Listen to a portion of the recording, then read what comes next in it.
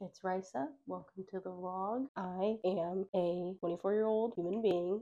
I live in Pittsburgh. I graduated from RISD two years ago at this point, and I used to make a ton of vlogs. If you want to check out my RISD vlogs, you can, they're on my channel. Now I'm just doing regular vlogs of my life, and I'm trying to inject more art in my life because the past two years, I obviously haven't drawn as much as I had when I was in college. And if you also don't know, I just work a regular nine to five job. I mean, it's not actually nine to five, but you know what I mean. And um, I don't like it, but you know, it pays the bills and that's life and that's reality. I didn't really know what I was going to do after college because I was like very, very burnt out from school and I just kind of wanted a break. I did ultimately want to move to Los Angeles, California, because I wanted to be in the animation industry. Still kind of want to, but it's a little bit complicated. Not really sure exactly truly what I want to do in my life. Anyways, today on the agenda it's like 1 p.m like it's really it's like the afternoon like i've just been in bed all morning and haven't really done anything. But today i'm planning on going to the library maybe. And the reason i thought about this was because i was watching a video from fairy little peach the other day and she was talking about how she started the artist way which is this book that literally every artist on YouTube talks about, which I feel like now I'm obligated. Like now I feel like I need to buy it. I think the book said to go on like an artist date and stuff like that. She went to the library and she was just looking at art books and she was just drawing stuff from the art books that like maybe inspired her or like writing down notes from it in her sketchbook and stuff. And I was like, that looks so fun. And I feel like I did do that in college. I did. But obviously I'm not in college anymore, so I'm I, I'm not in touch with my academic side. so I feel like I need to get back into that. So it can help me be a little bit more creative. The main reason why I haven't been making much art these past two years is just because I just haven't really felt inspired or good enough. I mean I, I never feel good enough. Like genuinely. But I don't know, I just feel like I can't come up with new ideas or like innovative ideas. I also have to remind myself that like I don't always have to come up with something extremely new. That's a very daunting, impossible task to be asking myself every single time I draw. Like I don't need to, you know, reinvent the wheel every single time I draw. Like I can just fucking draw. I thought that was a good idea. I think it will help me sort of practice art more intentionally because I feel like I I have stopped doing that. And you know, it is because I'm not in an academic setting and stuff like that. But you know, that's that can't really be an excuse because I'm not going back to school. Like maybe eventually I'll get my master's, but I doubt it. She was also talking about how going on Pinterest and like finding inspiration or going on Instagram and finding inspiration is like not the same as like, you know, in person. And this was so interesting the way she was talking about it. She was saying how like the algorithm is really good at not really showing you anything new or at least anything like unique or innovative. They'll just show you very similar things to what you what you already like. So if you're trying to branch out and look for new inspiration and maybe change something up about your drawing style, your subject matter. Don't go to Instagram or Pinterest. They just feed you the same shit over and over again. And that's true. It is very true. Every time I go on Pinterest or Instagram, I just see basically the same stuff. And I, I don't really feel inspired when I look through Pinterest or Instagram. Like sometimes Pinterest, because there's a lot of different avenues that I can take inspiration from. But eventually there becomes a limit where I don't even know what to look for because I haven't been exposed to it. So it's like, how am I going to just be more creative with my art if I don't even know what's out there. So that's where the library comes in. I'm gonna make some mangú and eggs. Mangú is like mashed plantains. I love mangú. Literally my favorite. I could literally eat that for the rest of my life. That would be my last meal. Mangú and eggs, actually.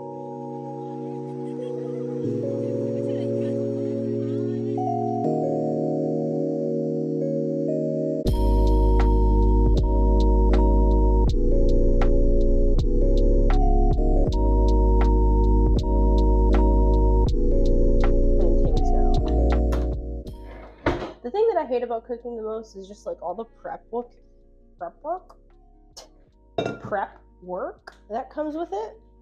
Like having to cut everything. I just wish everything was easy.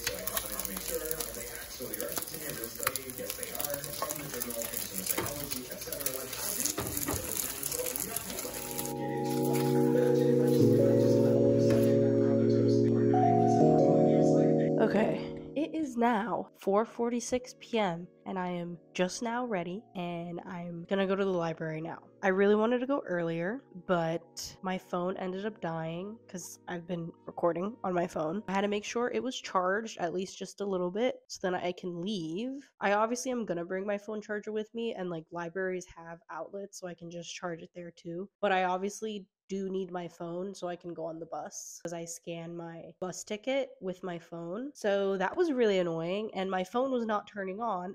it was like 30 minutes later and my phone was still dead. And I'm like, what is going on? If my phone literally never turns on right now, I'm going to lose my mind because I cannot deal with this right now. I'm wearing my Young Miko shirt. I went to her concert in August wearing jeans. I thrifted these jeans. So this is what we're working with. Anyways, I'm packing up my stuff. I have my laptop in here, my laptop charger charger. I'm gonna put my iPad in here as well. So I have all of my electronics because you never, you never know. Also, sometimes my electronics make me feel safe. I think that just might be a Gen Z thing. I feel like I need to have my electronics with me at all times. I normally use this tote bag, coat bag, tote bag for work, but I do need to take some things out. I feel like I'm all over the place. I'm gonna bring my little pencil case, and then I'm gonna bring obviously my sketchbook. This is the sketchbook that I have at the moment. I, I really don't draw on my sketchbook that often. Maybe I should come closer. Yeah, I mean, I have some stuff in here, but honestly, most of it's like I'm drawing. I wrote some stuff. I don't know.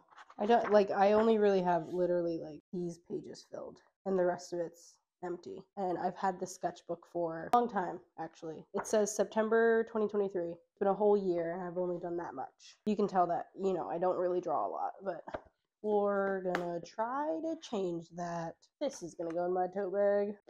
Yeah, and it kind of makes my bag really heavy. I have my iPad, my computer, and all the cords in here. So.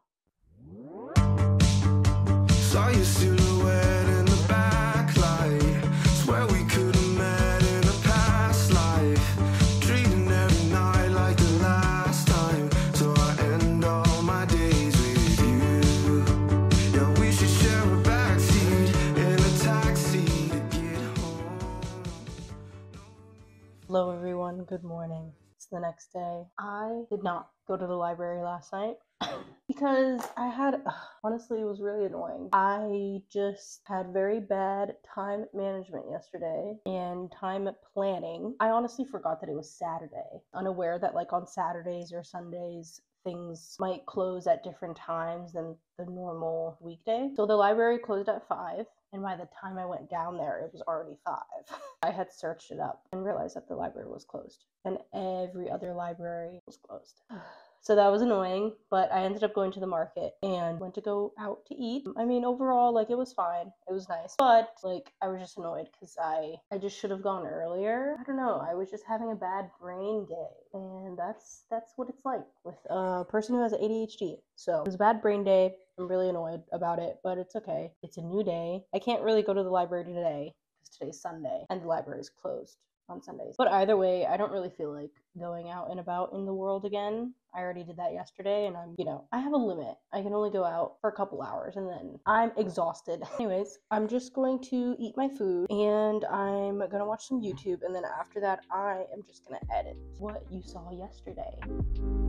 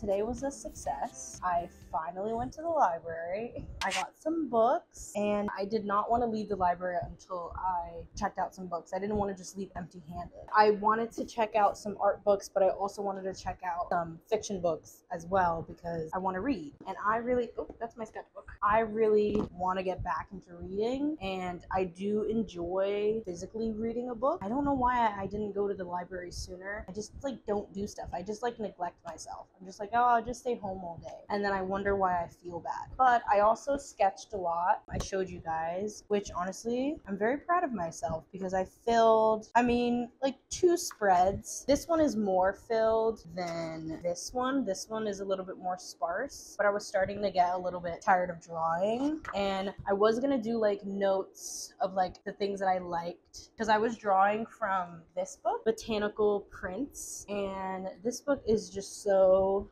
just like looking at all the prints is just like beautiful. And i really love how this artist his name is henry evans. I love how he uses these like blocks of color. Obviously like that's what prints are like it's just a block of color. But like this one specifically this is persimmon. And literally like the persimmon is just blocks of color but like it has so much volume in just this one block of color. And i just thought that was just beautiful. I loved that. So i sketched that and i was sketching a lot of stuff from this book and I was writing just what the flower was or what the plant was. And I was going to write down like things that I liked about the piece, but then eventually I just I let go of that idea. Yeah, I mean, I'm proud of myself for that, for actually drawing, even if it wasn't like supposed to be like a masterpiece or anything. It was just to get some practice in because I don't draw very often. I put in a clip earlier where I was searching up references on Pinterest for like flower prints because I want to work on a calendar. I was thinking at first like it will be a theme of maybe like the birth flowers. That's my initial idea. But I was also thinking about it could just be like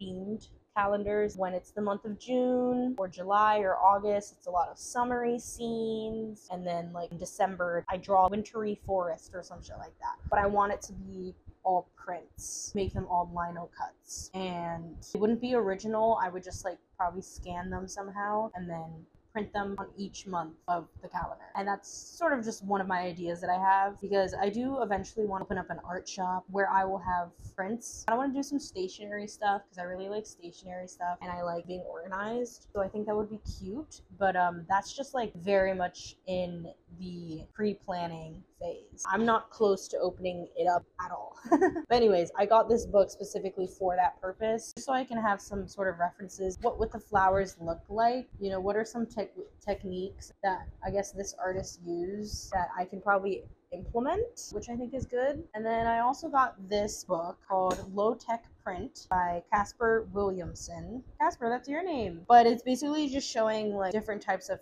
printmaking, but more in a contemporary sense. There was a lot of printmaking books that were like older Japanese woodblock prints, and obviously, like, I love that type of stuff. I eat that up, but I wanted just to see a little bit more like contemporary versions. And I really like the cover, indented, like it's raised a little bit, and I think that's cool. I like that. And then I got two fiction books, which I'm actually so excited about because I really wanted to just read a random book. And I did want to read Throne of Glass, but Throne of Glass was not at my library because everybody wants to check it out and everybody has checked it out. So eventually I can put it on hold. So then anyone who has it checked out has to bring it back in because somebody else has it on hold. So I'll probably do that steal their book from them because I wasn't gonna get Throne of Glass. I was like, okay, what's another book that I can get?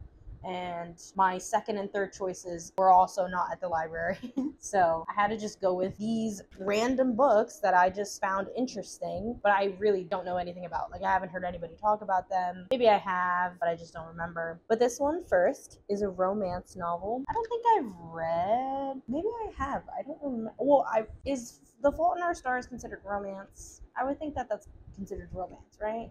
A little bit. So I've read that. But I also don't read a lot, so I don't know what types of books I gravitate towards. I know I gravitate towards fantasy, but I can only say Harry Potter for that. That's really the only fantasy book I've read. It's called Expiration Dates. This is by Rebecca Serle, Surly. It's about this main character. Her name is Daphne, and she has been in like a few relationships, and every single time she receives numbered papers that tell her when the relationship will end. But then she goes on this blind date with this guy and the paper only says his name and it doesn't say the time when like their relationship will expire. This book basically I guess just centers on Jake and Daphne's relationship and their story and like what happens. And I don't know, I ate that up a little bit. The expiration date concept, I ate that up. I will say that. And I don't know, I just think it's it's kind of cute and it's kind of cool. Like I would like to know when my relationships are gonna end you know? Sometimes I, I want to know. The next one I got was called My Murder by Katie Williams. And this one is different. This one's not a romance at all. This one's more like a mystery, I would I would assume. I mean, I would assume it's a mystery, right? Or like a thriller, because it's literally called My Murder. Basically, this is about a woman who ends up getting killed by a serial killer. And then eventually she gets brought back to life by a government project. She's basically just like going back to her old routines, going back to her family, living her life. But she also has to, you know, deal with this question of who killed me? What's going on? Why did I get killed? Blah, blah. All those questions I'm sure will arise. It seemed interesting and I want to read it. And these two books were in the like bestsellers area. I am a sheep I do flock with the rest of the people. And I do want to like what other people like sometimes. And also, especially if you're having trouble picking something or making a decision, I would just pick what everybody else pick. So since these were bestsellers, I was like, you know what? Let's just read these because they're bestsellers for a reason. People like them for a reason. Let's see if I like them. I'm probably gonna read the expiration dates first, just so it's. I feel like it'll be like a light-hearted sort of read. I will not be reading that today. I'll probably be reading that another time. But I will keep you guys updated, and I'll I'll let you guys know what I what I think about these books. That's it for this vlog. I hope you guys enjoyed. It was, I think, eventful. it was an eventful weekend. I did more than I did in like the last two years that I've lived here in Pittsburgh. But I'm on a journey of trying to better myself, I guess, if that makes sense. I mean, it paid off. I had fun. I loved going to the library. I loved being there, honestly. We'll be doing that again. Highly recommend going to your local library just a symptom. You've forgotten You Slip me in your pocket. Turn on the television.